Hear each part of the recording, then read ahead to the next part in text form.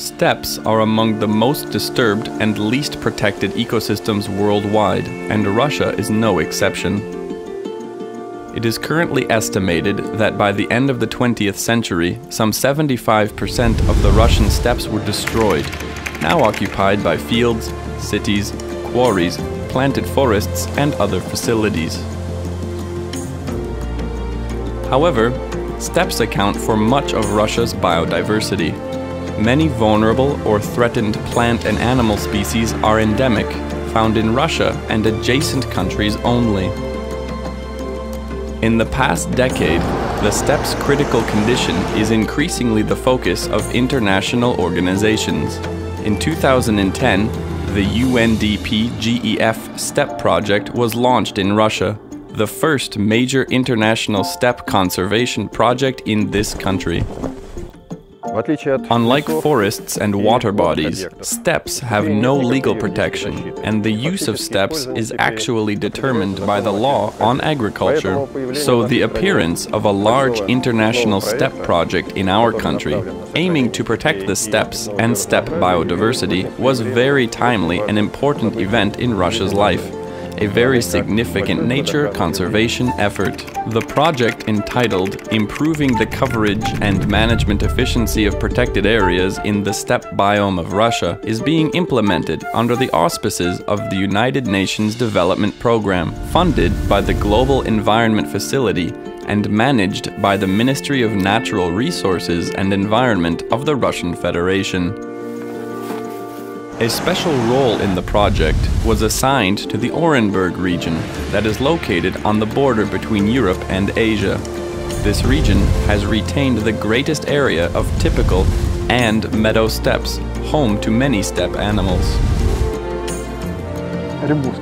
Of special importance is the Orenburgsky Nature Reserve, the only one in Russia established for steppe conservation. 90% of its area is steppe. In July 2015, the territory of the Orenburgsky Nature Reserve was extended by 76% to include a fifth section, the pre-Ural steppe, 16.5 thousand hectares in the area. That made it possible to embark on another initiative with global significance, implementing Russia's first and for now unique program for the reintroduction of Przewalski's horse, which will restore the species population which was formerly extinct in the wild.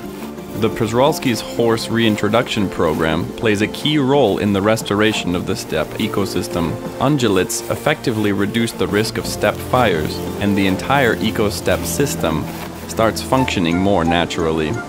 Under the auspices of the UNDP GEF STEPPE project, all the infrastructure required for bringing in the first horses was created in record-breaking time. A lodge, a permanent study area, acclimatization paddocks, and a quarantine block. And in October 2015, the first group of Przewalski's horses, provided by the Takh Przewalski's Horse Association, arrived from France. It's really impressive, and so it's really a luck for the, um, the conservation of the Przewalski's horse to have a plot of such size available for um, to accommodate a population. I think just by eyes that uh, it shouldn't be any, no problem to, ha to have 1,500 uh, individuals, which is a, a, size we consider that uh, appropriate to have a viable population from a genetic point of view. So for this reason, it's a really uh, very good place, maybe one of the best places in the world to have Przewalski's horse population here.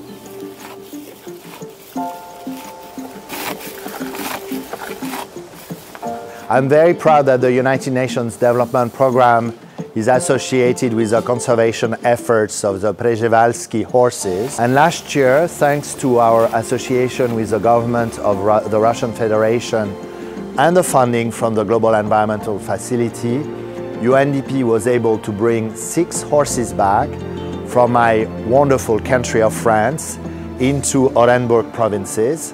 And we have now this fantastic four-legged compatriot of mine uh, in Orenburg Natural Park. And this year, we will bring another 15 of those horses from different zoos across the, the countries of the world. And we are hoping that by 2030, there will be about 150 to 200 uh, wild horses in Orenburg. And this will be really the beginning of a new era where the Przewalski horses can be in their natural environment and also contributing to the conservation of the steppe in their habitat. Between April and September 2016, the entire pre-Ural steppe site was fenced off in order to preserve the protected steppe and its future population of Przewalski's horses. And on the 3rd of October this year, Vladimir Putin, president of the Russian Federation, and Rafilia Bakirova, director of the Orenburg Natural Reserve, let the first group of wild horses out of the acclimatization paddock and into the reserve. In November 2016, a second group of the animals will be brought from Hungary to the Orenburg Reserve to replenish its population. The harmony between the steppe and the wild ungulates will thus be gradually restored. The UNDP GEF STEPPE project in the Orenburg region gave a key impetus to steppe protection, raising conservation efforts to a new level. Further steppe conservation efforts will require a similar level of large-scale institutional support.